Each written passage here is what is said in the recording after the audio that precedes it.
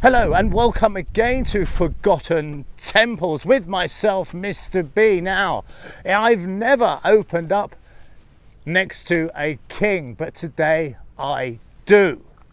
And this is the Leper King, so named because when the French discovered this statue, he was missing a single digit. Hence, he got his name. But it's not just that, because there's a strange coincidence here. There is a story of the Naga snake god biting a king in ancient days and giving him leprosy. And we will be able to meet both of those characters very shortly. For we are at the Leper Terrace and it is an amazing place. There are so many carvings, the walls are festooned. So if you like your art in an ancient style, join me. This one's going to be a treat. Now, we have our mighty king. And behind us, we have quite the vista because this place is unique. It has something exceedingly special about it and something you won't see anywhere else in this complex. And that is, you need to imagine 10,000 plus people heading down this causeway and they're chanting, they're playing musical instruments, but above all, they are grieving. And the reason is the king is dead. Because where we stand, right here, is where they cremated the kings.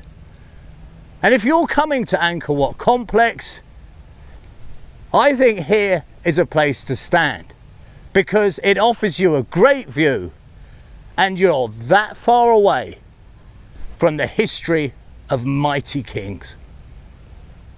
And here we are down from that terrace up there, and it's up there the mighty fire would have roared as it consumed a monarch. And all round here would have been his weeping people. But if we go through here, I can show you some absolutely amazing carvings. And after that, I've got a treat upon treats. And that is, just over there, is the site of the Royal Palace. But first, follow me.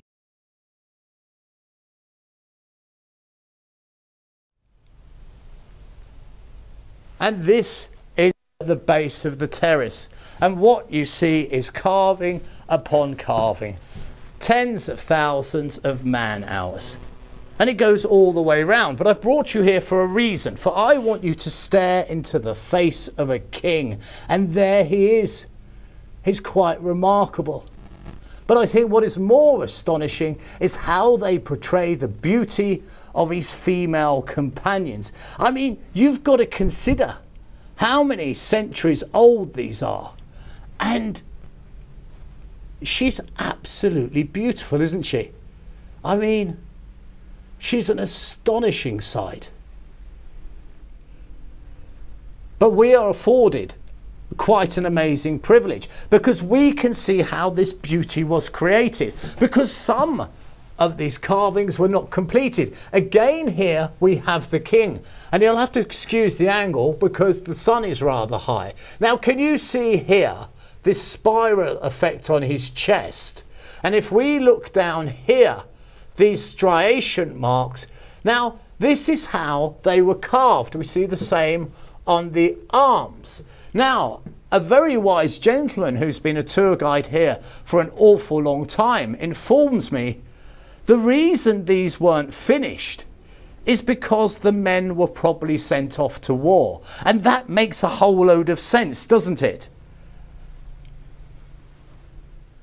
So it's from the king's head to the actual king's palace. And that is where I'm taking you to next. And here we are inside the actual royal enclosure where the king's palace was. And what you see behind me is this mighty wall and this body of water. And what that body of water is, is his own private bathing area. But there's something more interesting. That's why I'm bringing you here. Because over here is a much larger pool.